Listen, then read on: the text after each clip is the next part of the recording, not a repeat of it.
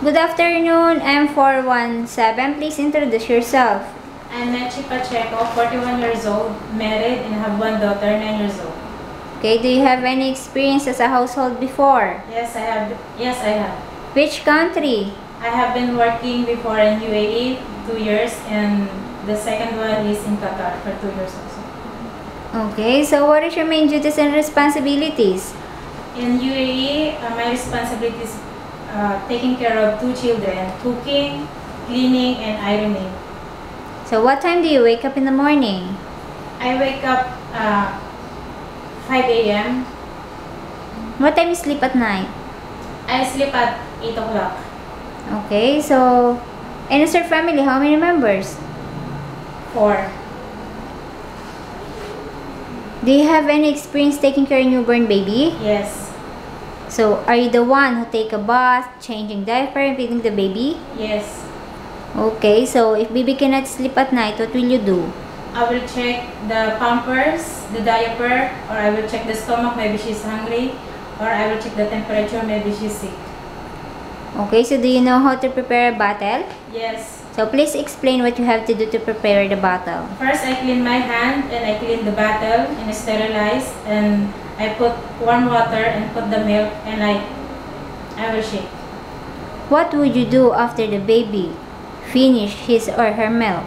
I will carry, I will carry her and let her birth. What will you do if the baby got sick? I will check first the temperature and, I will then? tell my madam that uh, she have sick.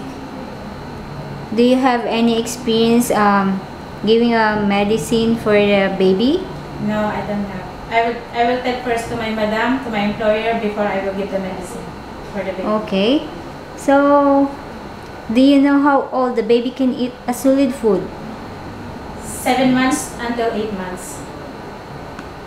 Okay. So, what would you do if the baby does not stop crying and your mom or your madam is not around? First, I will let her to play, and I will check maybe she's hungry, and i- if it's still crying, I will call my madam. Okay, aside from babysitting, are you comfortable with doing anything else such as cleaning, making the making dinner and picking up the kids from the school? Yes, So, are you willing to take the off set by your employer? yes, Are you prepared to cut your hair short? yes, Are you willing to work with a family of more than 6 members or with elderly person or disabled person? yes. Are you afraid of dogs or other pets? No, Are you willing to share a job with other helpers? yes, Do you accept to work in the employer's house equipped with camera recording system? yes, Can you promise not to use telephone or mobile without the consent of your employer? yes, I promise. Most especially during during working hours. Yes, Are you prepared to eat the food that your employer provides? yes. Do you have any do you have tattoo in any part of your body? No, I don't have.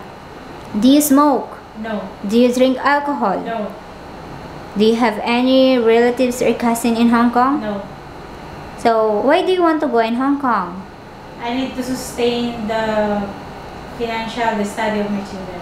So, if you work abroad, who is the one to take care of your kids? My mother, Okay, how long do you want to work in Hong Kong? until my daughter finish the school, the studies. Okay, so please give your message to your future employer. Hi, mom. Give me a chance to work with your family. I am assure you that I'm a hard, hardworking and patient, understanding, and obey your rules. And I will work. I will treat your daughter or son as my own. Okay, thank you M417. See you in Hong Kong. Thank you.